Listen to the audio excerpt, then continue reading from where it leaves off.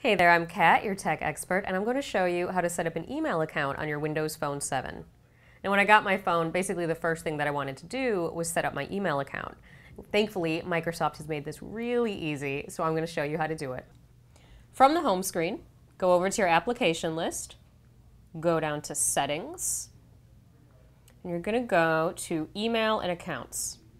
Now from here, you add an account and it'll list most of the major email providers. So it has MSN, Outlook, Yahoo, Google, even Facebook you can add here, or another account if your mail is somewhere else.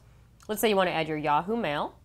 All you do, enter your email address, enter your password, and there you go. The phone will take care of the rest. And that's how you set up your email account on your Windows Phone 7. If you have any questions or comments, leave them down below. I'm Kat. See you next time. If you have a request, send it to requests at mahalo.com.